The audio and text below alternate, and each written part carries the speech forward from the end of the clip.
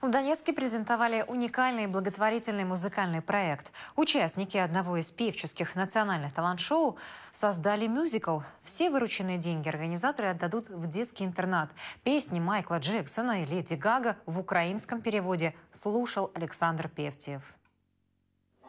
За полчаса до начала мюзикла в гримерке готовится к выступлению главный герой сказки. Дмитрий Ващенко уже в образе водяного. Чешуя. А, Перстни говорят о том, что я зажиточный водяной. А, Я алчный человек. Я не человек, точнее, я существо.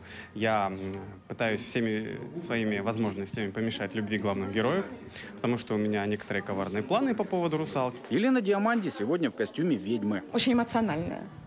И, может быть, и даже близка кому-то будет. Они просто поймут, что кохание может творить чудеса. Объединил талантливых дончан, идеолог и сценарист мюзикла Алексей Донцов. За минуту до выступления он проводит с артистами ритуал. Соединим наши руки поближе и покричим чуть-чуть. Легонечко. На сцене перед дончанами солисты работают вживую. Для мюзикла были отобраны 12 мировых хитов.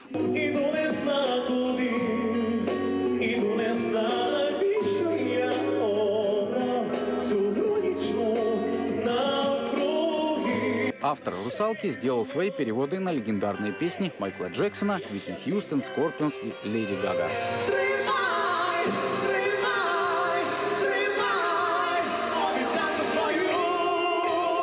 Больше часа артисты держали в напряжении зрительный зал. Как и в любой сказке, в мюзикле «Русалка» победили добро и любовь.